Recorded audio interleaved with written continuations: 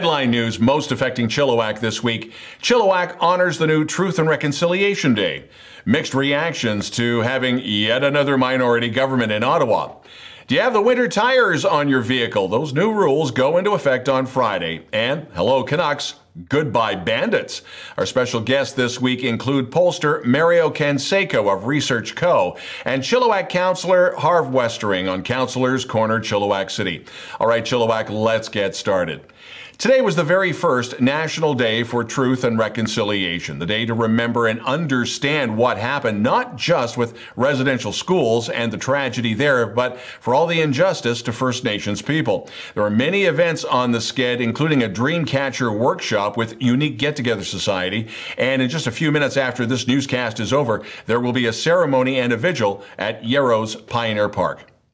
New provincial public health restrictions came into effect on Tuesday for Abbotsford, Hope, Chilliwack, Agassiz, Mission, and Harrison. This was announced by the public health officer, Dr. Bonnie Henry, and the health minister, Adrian Dix.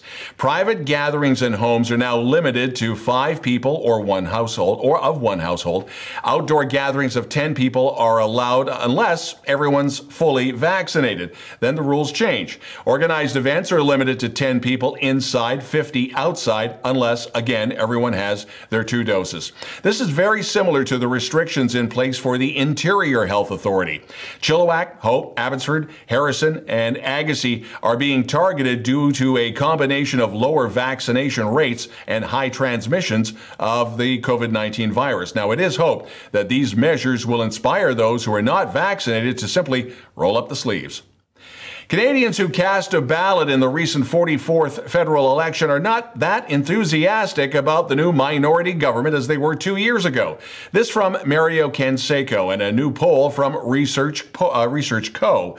In a online survey of national representation, the sample of Canadians who voted in this year's federal election, 42% say they would be happy with a minority government led by the Liberals. 49% uh, would be upset. Well, we'll have that interview and break down the numbers with Mario Canseco later on in the newscast. Last Friday, Chill TV was following a shots fired story from the downtown core. RCMP Corporal Mike Rales said that police closed off Wellington between Five Corners and the Service Canada building, which is across the street from the Royal Hotel. That's off Main Street. They were dealing with an incident. The public was never in danger. Shortly after 8:15 in the morning, there was a call of shots fired, and Central Elementary, which is nearby, was in a hold and secure. The incident was also near a new, near a new daycare, which is now now in the building that once housed Decades Coffee. One person was taken into custody as a person of interest, but so far RCMP are not commenting any further. Mere hours before that took place, there was a heavy police presence at the intersection of Yale Road and Hocking Avenue after one person was stabbed. This was downtown Chilliwack. Two businesses kitty corner to each other, O'Connor Chrysler and Shell, the gas station there, were taped off as RCMP officers investigated. Mounties were seen placing evidence markers throughout the car lot and photographing the scene. The victims suffered non life threatening injuries. The suspect remains on the loose. No motive has been released. Friday, October the 1st, is the start of the snow tire season. While you can get away with all season radials and all season tires in the Valley and Metro Vancouver, you got to have those snow tires and for trucks, the chains, all ready to go until April the 30th. The Ministry of Highway have all those details, and uh, the tire shops are rather busy right now keeping up with demand. The Chilliwack Métis Association has established the Nick Lang Memorial Bursary Award to honor Nick, a 15-year-old who died in 2015 while he was in government care. The bursary is available to UFV Indigenous students who are working towards a degree in child and youth care, criminal justice, or social work, and who have a special interest in working with high-risk youth. Louis de Jager, the immediate past president of the Chilliwack Métis Association and now Region 2 Director and Minister of Economic Development and Natural Resources for Métis BC, suggested establishing that bursary in Nick's name. Doing so fit in well with the association's commitments, which include teaching and learning Métis culture, fostering community relationships, and inspiring and mentoring the next generation of leaders. The idea to create the bursary for Nick resonated deeply with Peter Lang, Nick's dad and the current president of the Chilliwack Métis Association. Peter has sought a number of ways to honor his son over the years, including volunteering at the Fraser Valley Child Development Center and providing a bursary for one of his son's classmates in the year that Nick would have graduated with his own class. Another edition of Councillor's Corner Chilliwack City. This time we have Chilliwack City Councillor Harv Westeringh. Chill TV's news of the weekend, Councillor's Corner, Chilliwack City, with Councillor Harv Westeringh. Uh, Harv, there's a lot of ground we have to cover. First off, this is a a special week. This is the first ever National Day for Truth and Reconciliation. The city of Chilliwack uh, has a number of, of uh, programs, and there are a number of events happening. Can you name just a couple of these? Uh, yeah, thanks, Don. Uh, the main one, I think, is the uh, um, totem pole raising at the Coqualeetza, or the, uh, yeah, Coqualeetza grounds Coqualeetza. there. And uh, also, if you've driven through the roundabout at the Vedder Bridge, you've seen that the uh, they've been lit up in orange. And this is just um, to honor the survivors of the residential schools along with their communities and families. And that roundabout art was designed by Chief David Jimmie and also by the Indigenous artist Bonnie Graham. So uh, in order to support reconciliation, Council has prioritized relationship building with our local Indigenous um, nations. And we just want to work together to best determine how we can support their efforts. Uh, so City Hall will be closed on Thursday, uh, the National Day for Truth and Reconciliation, to observe um, this day. And we are encouraging everyone to educate themselves with regards to this important issue. Uh, another uh, topic, and I know your inbox gets full. I know the mayor's inbox will be full, and that's the 2022 financial plan. Uh, now, are we doing a public survey on this, uh, public input, uh, as we have done in past years? Yes, so um, we have a rolling plan. It's called the Comprehensive Municipal Plan, and it's a 10 year plan, and it identifies long term needs and goals and also short term needs and goals. And every year we send out a survey and we ask uh, residents to engage with us and tell us tell us what's important to them so that we can um, measure this and we can plan accordingly. So if you want more information on this, um, you can go to chilliwack.com forward slash budget and then let us know what's important to you so that we can have your input and plan accordingly. Single use item reduction bylaw that was passed last week. Has there been what, what's been the reaction? Has it been fairly positive? Uh, I have heard through uh, social media with Chill TV and Fraser Valley News a few businesses concerned about, quote, extra costs. But I'm curious to know has there been pushback that you've had, uh, that you've heard of, or is it being pretty much accepted? Well, again, it's, it's uh, finding the right balance. So the surveys that we've had over the last few years indicate that the majority of residents want us to do something and to be leaders on the environmental front. So the emphasis of this bylaw is to educate and not to uh, impose penalties or fines, that sort of thing. So the idea is um, we had a we had a bylaw, we sent it to the province. The province came back and said we had to make some modifications. So we've done that, and this bylaw was then recently passed by council. And the idea of this is that we want to reduce um, plastic, basically plastic. So it's um, the bylaw is focusing on the reduction of plastic takeout containers, plastic cups. No, not plastic cups. Sorry, that was one of the rules that the uh, province said that we could not restrict. So. Plastic cups, unfortunately, and paper cups are still allowed, um, although we will educate on that too. But the single use reduction bylaw is aimed at plastic takeout containers, um, plastic straws, except those for accessibility needs, foam cups, and plastic disposable utensils.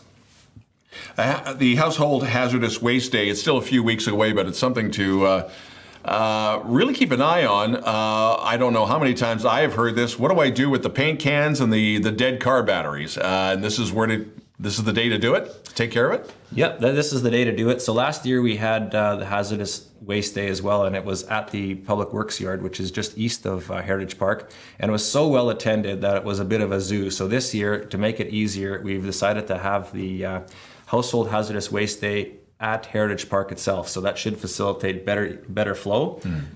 And this will be held from nine o'clock until three o'clock. So um, lots of time to get down there and get it done. And it's open to all um, residents really that that uh, the landfill will accept garbage from. So that's the city of Chilliwack, um, Harrison Hot Springs, Agassiz Kent, and electoral areas D, E, and H. So basically Cultus Lake, Chilliwack River Valley, and Popkum.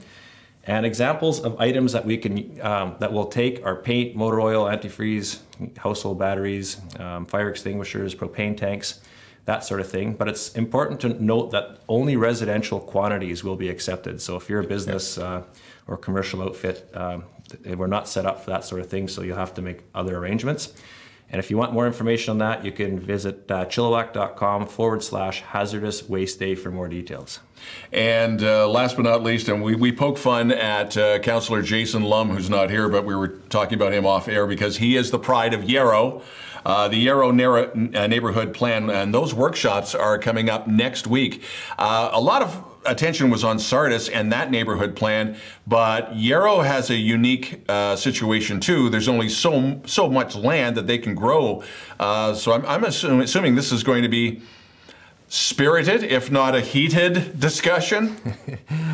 Yeah, usually uh, when you're dealing with the outskirts, Yarrow, Rosedale, Greendale, that sort of thing, there's definitely uh, opinions on all sides. So um, we are having the neighborhood, uh, the Yarrow Neighborhood Plan Workshop, and that will be held online on Monday, October 4th from 12 to 1, and Wednesday, October 6th from 6.30 to 7.30. And we can only take 40 people um, on each one of those. So if both of those fills up, we will have a another one.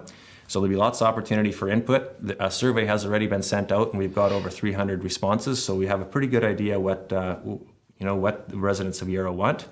Uh, themes include residential development, commercial and industrial devel- development, mobility, environmental protection, recreation, Yarrow Central Road, lots of other things. Um, and if you want more information, you can go online to engagechilliwack.com forward slash Yarrow plan um, or contact their planning department. City Councilor Harv Westeringh and another edition of Councilor's Corner, Chilliwack City. Thanks again for coming in. Thanks very much, Don. And you're watching Chill TV's News of the Week. Chill TV's News of the Week in conversation with Mario Canseco, uh, who operates uh, Research Co., uh, which is a polling agency. Mario, you had an interesting uh, poll come out uh, over the past week. Fewer Canadians are happy with a liberal minority than what we saw in 2019. Can you expound on that? What happened? We've pretty much have a carbon copy of two years ago, but we're not happy about it? That's right. Uh, the sense of dissatisfaction with the idea of the Liberals uh, leading a new minority government is certainly lower now than it was a couple of years ago.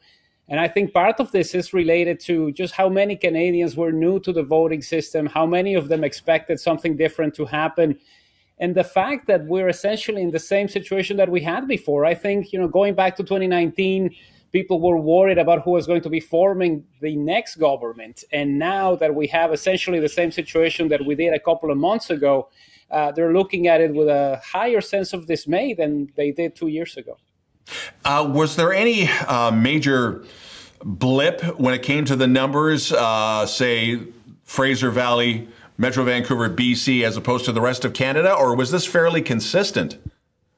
Well, it was fairly consistent. I think we see a couple of areas where there's more dissatisfaction with this. Definitely, you look at Manitoba, Saskatchewan, Alberta, uh, areas that voted very heavily for the Conservatives, but also some parts of BC. You know, it really strikes me as, as something crucial here that a little bit of that is coming from the Fraser Valley and southern British Columbia but also from Vancouver Island. I think there was an expectation from those who did not want to see any new Democrats elected or Greens uh, that they had a shot at winning some seats. And they did better than in the last election, but certainly not enough to allow them to be in the House of Commons. You brought up a good point uh, when it came to the NDP in the Fraser Valley. Uh, last year with the provincial election, uh, in, at least in Chilliwack, the NDP took both of those uh, ridings. Uh, on our election coverage on Chill TV, John Les said the the bump with the NDP provincially, the bump with the NDP here, even though Mark Strahl still won, he called that an anomaly. Do you look at it the same way, or are you are you seeing a trend? Uh, is it going to move away from the conservatives in the Fraser Valley towards NDP because of that shift in population? Well, I think what we saw in the October 2020 provincial election was more a sense of satisfaction with how the pandemic was managed. Uh, I don't think it had a lot to do necessarily with changing migration patterns or younger families moving in, people not going to church anymore.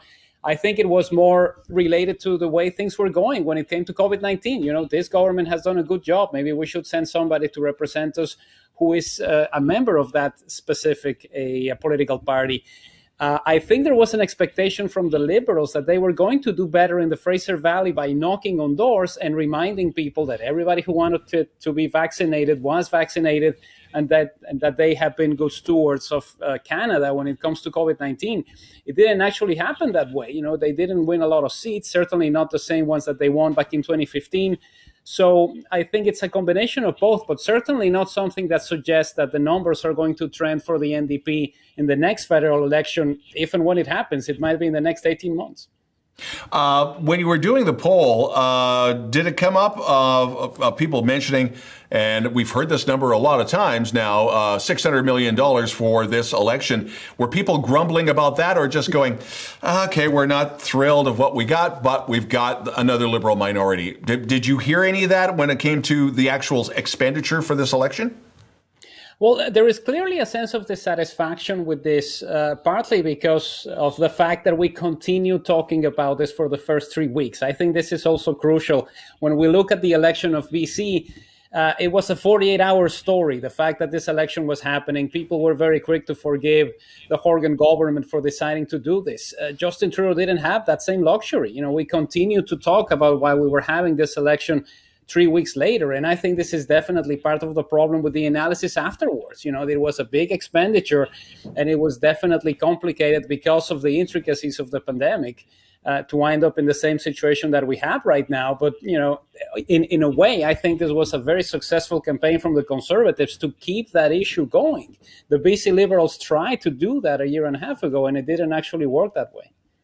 Was was there any other uh, stat that came up that that really jumped out at you, or was it pretty much okay? We're, we've got what we've got, with, and we may or may not have another election in two years. Well, uh, one of the things that is interesting uh, when we look at the numbers is the fact that there's not a lot of support for cooperation between the Liberals and the NDP.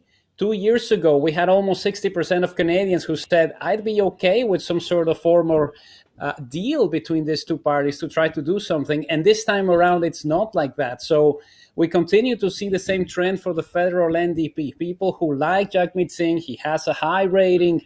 Uh, but they just don't want to vote for the NDP or see the NDP involved in the government on a formal basis. So we're back at where we were before. Certainly not the same level of support for the NDP to suggest that a formal coalition would be in place. Uh, but I was definitely struck by the sense of uh, that many Canadians are essentially saying, um, we're not happy with the parliament we have, uh, but we would be even uh, less so if the NDP gets involved. Mario Canseco of Research Co. We will have more of these conversations as uh, the weeks go on. Big thank you for joining us today. My pleasure, Don, anytime. And you're watching Chill TV's News of the Week. Just like the cat came back, the NHL came back to the Abbotsford Centre.